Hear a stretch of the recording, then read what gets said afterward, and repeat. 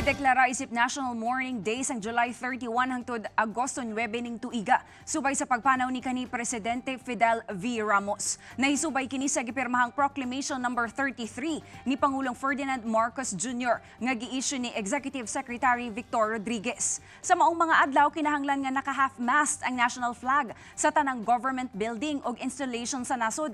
Subay sa Republic Act number 8491 kon Flag and Heraldic Code of the Philippines. Tinguhan ni ini nga mahatagan og tribute ang kontribusyon sa kanhi leader sa nasod. Busa naka-half mast na ang national flag sa University of the Philippines Mindanao. Dako ang kontribusyon ni Ramos sa tunghaan kinsa nag-aproba alang sa pagtukod sa UP Mindanao ni atong tuig 1995. Gawa sa ika-12 nga presidente sa Pilipinas, nahimong ilado si Ramos sa iyang mga inisyatibo sa peace agreement sa Moro National Liberation Front kon MNLF.